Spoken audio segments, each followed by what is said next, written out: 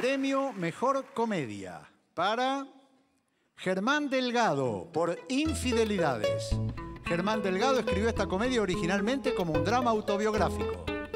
Felicitaciones. Muchas gracias. No habría podido escribir esta comedia sin la ayuda invalorable de mi querida esposa.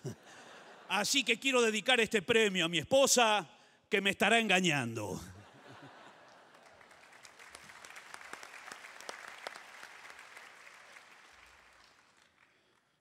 Una de las nominadas para Mejor Banda de Sonido es la canción de los títulos de la telenovela venezolana Juana Isabel de Canal 5.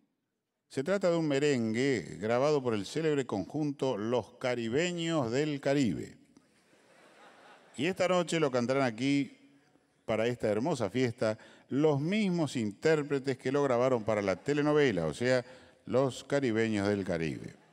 Digamos que el merengue es un ritmo musical muy festivo, muy animado, muy difundido en muchos países de Latinoamérica, incluso en España, y que se trata de un ritmo musical, Ramírez, estoy hablando solo, estoy haciendo un monólogo cuando esto debería ser un biólogo.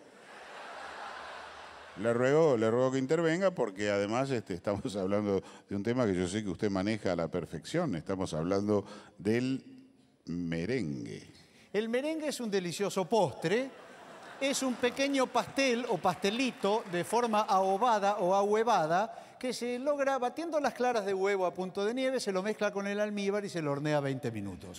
Una vez horneado se lo retira sigilosamente del horno este, para que un, no se peque- un pequeño malentendido. Yo me refería al merengue, pero en tanto danza. Se baten las claras de huevo a punto de nieve, se lo mezcla con el almíbar y se lo hornea 20 minutos. No, no, Una vez- danza, danza de... Bueno, se puede danzar mientras se hace el batimento, ¿no? No hay inconveniente en hacer esas dos cosas a la vez. Cualquier persona normal lo puede hacer. Inténtelo y verá que no puede. Este, no, a ver, eh, eh, bueno, le propongo que partamos de un principio. No se lo puede partir, se desmigaja. Es un postre seco. A tal, a tal punto, en, en catalán se denomina postre sec. Bueno, No, no se imagina lo importante que es esa información que me acaba de dar. Este, pero cuando le digo partir de un principio, me refiero a partir de la mitología griega. Usted sabe que en la mitología griega están las musas, que son figuras que propician las artes, por ejemplo, Euterpe, la musa de la música, Talía, la musa del teatro, este, está también... eh, ¿Hay más? Sí, hay musísimas. Está, por ejemplo, eh, la musa de la limpieza, ¿Cuál es esa? la gamusa. La, la musa de los escarabajos, ¿Cuál es? la escaramuza. La musa del queso, la musarela. Bueno, pero en fin, no, no, no apabullemos al público con nuestra sabiduría. Este, vayamos a lo que nos interesa, como estamos hablando de una danza, ¿eh? danza, danza. Digamos que la musa de la danza es Terpsícore. ¿Quién? Ramiro, no me diga que no conoce a Terpsícore. De nombre no, a lo mejor sí la veo. Esther Píscores, no, no la conozco. yo. Ah, ya no sé. la no, Esther Píscores, ¿de, de- de qué barrio es? Es- es- es- Ya veo por qué. Sí, Esther Píscores, qué nombre raro tiene, ¿no? No la conozco. ¿Qué tal? ¿Es simpática? ¿Eh? No, no me importa, está buena, digo, eso es lo que- Con ese nombre no ha de pasar inadvertida, ¿no? Ahí viene Esther Píscores. ¡Ah, eh, Pero no dije que, que no dije Esther. que- Usted dijo Esther Píscores. No, no, claro, ahí bien. Dije es Terpsícore. Ah, Esther Píscores. Esther Píscores, qué pronunciación rara. Esther, ¿qué es la pronunciación griega esa? Nosotros a las Esther de ustedes, los griegos, las llamamos Esther. Si viene caminando una por la calle, usted le dice Esther, no se entera, sigue caminando. En cambio, usted le dice Esther, se da vuelta y le dice, ¿me llamaba? Sí, yo soy Daniel y se entabla lo que puede llegar a ser el comienzo de una. Bueno, siempre y cuando se llame Esther. Pues si se llama Alicia, sigue caminando, no, se entera tampoco. O si se llama Judith, también sigue caminando. Se juntan allá las dos, ¿no? Alicia y Judith, y se van a. Ellas tienen ahí un, un, un dancing, tienen, y hacen unas danzas ahí. Esther Pisco, Esther. Una vez venía caminando una por la calle, le dije Esther, se dio vuelta y me dijo, yo me llamo Pedro. Y no, no se entabló nada, porque a mí no me va ese tipo de, ese tipo de, ni ese tipo ni ningún tipo, digo, no es lo, no es lo mío. No es que me moleste que Pedro haga de su vida lo que quiera, ¿no? Pero Allá él, digo, allá, bien allá, quiero decir, no, no. El hecho de que es un país libre este que permite que la gente como él se manifieste de la manera que encuentre oportuna, ¿no? Porque a mí no me importa ni. eh, no, ¿Usted quiere ir con Pedro? Vaya, ¿eh? A mí, no me molesta, vaya, vaya, si ya se hablan acá cosas, se, se sabe. Sí, vaya con eh, Pedro y ustedes. Oh, eh. El hecho de que a mí me repugnen ciertas conductas como la suya y la de él no quiere decir que yo me vaya, me vaya a interponer de ninguna. Si hay algo que no voy a hacer es interponerme. Yo, sí, Esther Pickle, sí, Esther Pickle, Esther, Esther, ya entendí, Esther, Esther Pickle.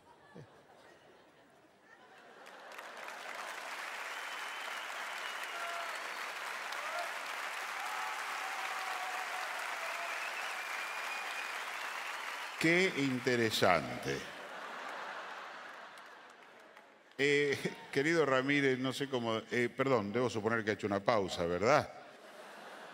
Eh, digo, no sé cómo decirle esto sin herir, sin herir su susceptibilidad intelectual, No tengo.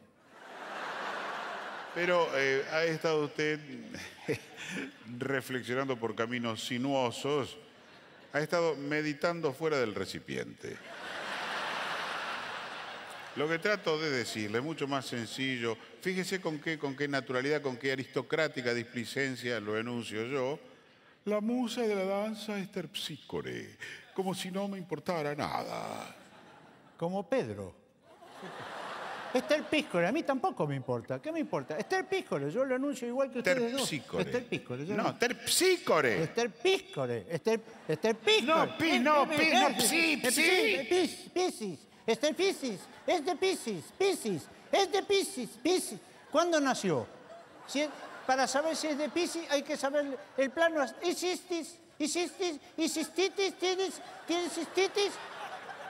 ¿Tisis? ¿Tienes cistitis o tisis? ¿Itis? ¿Cistitis? ¿Y tisis? Penicilina. Y se le acaba el... Así piso. Tú susus. Tú saque. Tú saque. Tú. Ese pasa... Sapas, sé que si te tisibis, disis misis, tisis, disis, kisis, isis, disis, disis, disis, disis, this is the pencil. This is the pencil of Esther Piscore. Is this pencil of Peter Greenaway? No. Is this pencil of Louis Jefferson? Tampoco. You know why? Because this pencil is of Esther Piscore. Where is Esther Piscore just now? Acá te quiero ver. Where is Esther Piscore just now? Eh? Is she cleaning the blackboard? Is she waiting the trolley bus at the corner of Esmeralda Street con Corrientes Avenue? No, she went to the bathroom.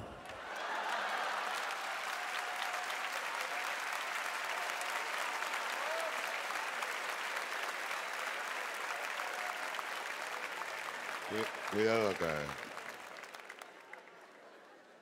My dear friend, you are equivocated.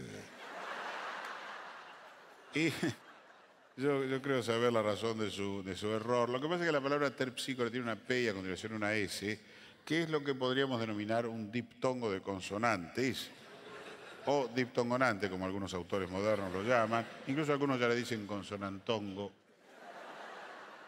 Allá ellos. Pero es una, mira, para, simplificar, es una mera yuxtaposición de consonantes. Y creo que ahí radica su dificultad. ¿Usted habitualmente tiene problemas con la yuxtaposición?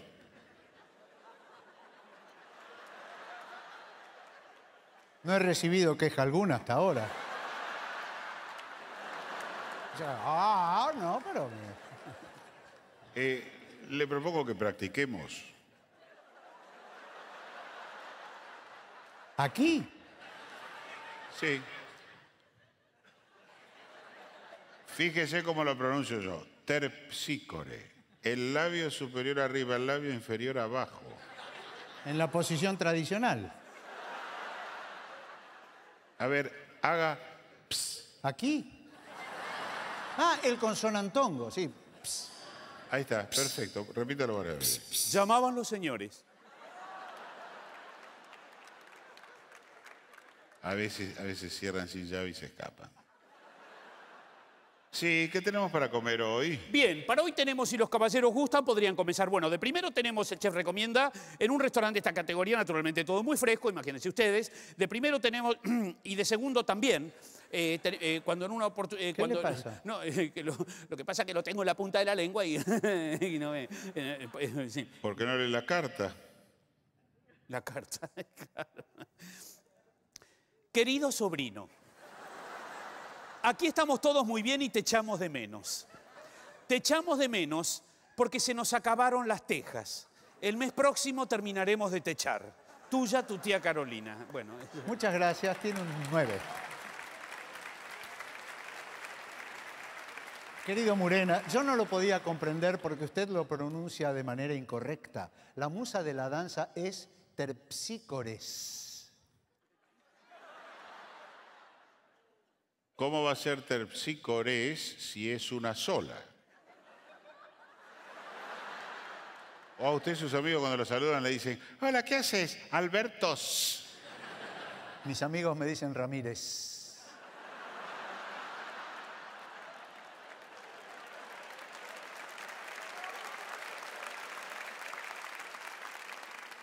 También es uno Aristóteles, Arquímedes, Sí, no, Sócrates, es otra cosa. Platón, ¿Eh?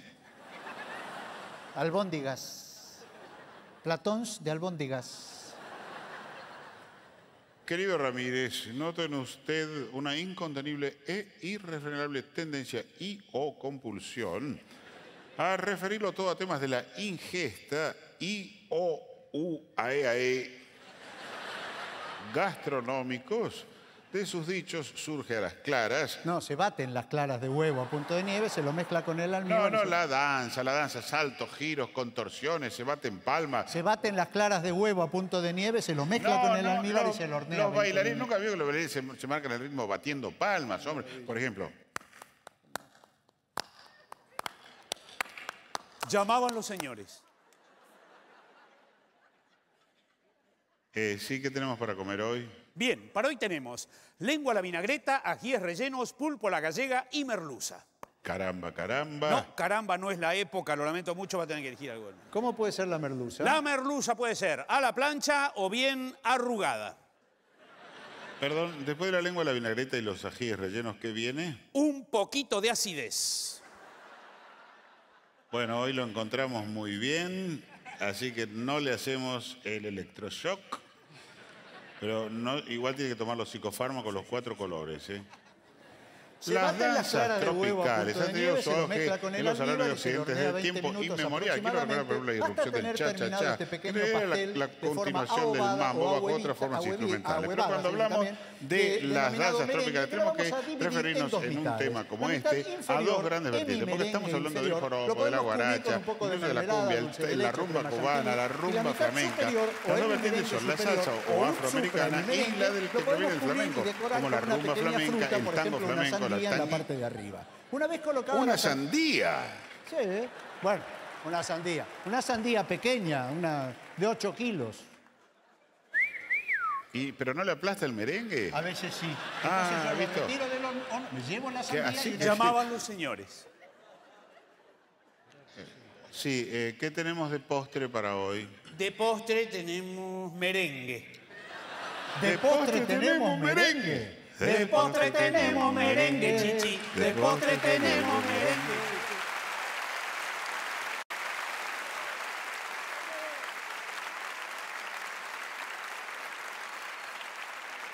Escuchemos pues a los caribeños del Caribe en el merengue Juana Isabel, que cuenta la historia del maduro enamorado que siente reverdecer sus ímpetus persiguiendo por la selva a la joven y hermosa Juana Isabel.